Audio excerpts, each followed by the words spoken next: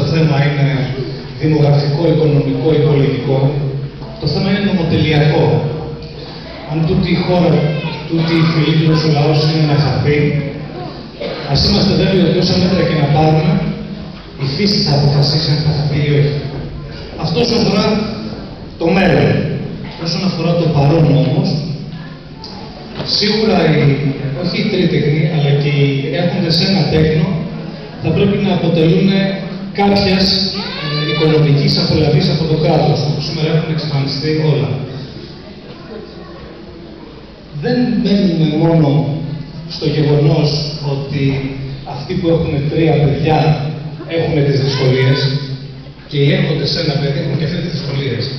Αυτό θα πρέπει κάθε κυβέρνηση να δει και ιδιαίτερα αυτοί που ωφέλουν αυτή τη στιγμή που τα, εξοπλίσαν όλα και κάνανε είτε είσαι ελεύθερος είτε έχεις παιδιά, σαν να είναι το ίδιο και το αυτό. Δυστυχώς έχουμε φτάσει στο σήμερα και στο διατάφτα να πληρώνουμε το λογαριασμό και να τον πληρώνουν κυρίως τα παιδιά. Εγώ θα ευχηθώ στη Μαρία και στο Διοικητικό του Συμβούλιο δυνατό και καλό αγώνα. Από την πλευρά του Δήμου, ό,τι μπορούμε να το κάνουμε, να το κάνουμε. Ε, και βέβαια η απόφαση η οποία στάλθηκε για τα τέλη, πήρα μια απόφαση με το Συμβούλιο και κατακυρώθηκε από την αποκεντρωμένη, ακυρώθηκε γιατί ο νόμος δεν δίνει το δικαίωμα αυτό.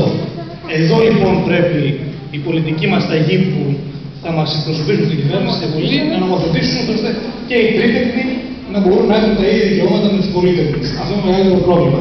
Γιατί αλλιώς είναι να μπούμε σε ένα δικαστικό αγώνα ως Δήμος, ο οποίος μπορεί να τελειώσει με την επόμενη θητεία. Όσο, όσο και να το θέλουμε, ας πούμε, να φτάσουμε στην επόμενη θητεία. Το εύκολο όμως, Μαρία, και νομίζω ότι πρέπει να το κάνουμε ως Δημοτική Αρχή, είναι το να βρούμε έναν χώρο όπου μόνιμα δουλεύουν οι τρεις, το έχουμε κάνει κατά το παρελθόν.